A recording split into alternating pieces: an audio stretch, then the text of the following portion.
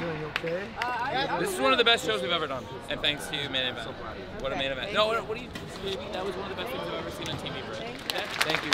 Hey, I told you this was gonna be good. No respect. That was one of the best fucking things we've ever seen. Thank you so much. Appreciate you so much, man. You're awesome. That was You're awesome. An incredibly strong main event. It's gonna be in the book as like a special show. It can go. It's eligible for the show of the year and everything. It's eligible for that.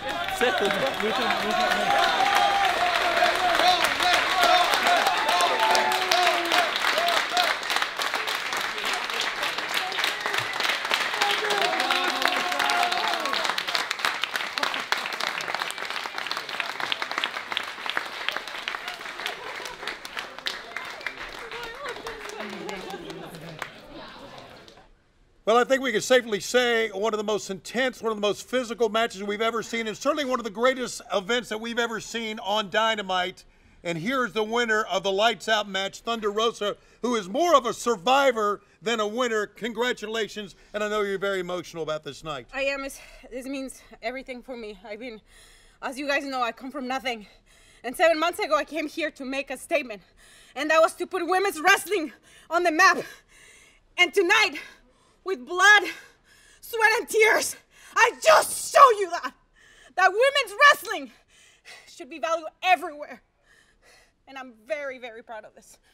Congratulations on your win. Ladies and gentlemen, Thunder Rosa, the winner of an incredible event, the Lights Out match here tonight on Dynamite. Congratulations again. I know it's a big night. Thank you. And thank you, everybody, for believing in me and believing in the Thunder Army. Los amo, los quiero. Arriba, Mexico! Where's Reba? She's coming. She's coming. Reba! Get going so I get these tacks out of your back and shit. I feel like a lot of them shook out. They did. They did. You got a couple on your back, so. Yeah, you. My that's a- mom can't watch that. Oh no, I almost couldn't watch that. Meltzer, maybe Meltzer will like It's a five it. stars. Let's fucking do it. I already told you that's my goal. Five stars. I already mixed it up.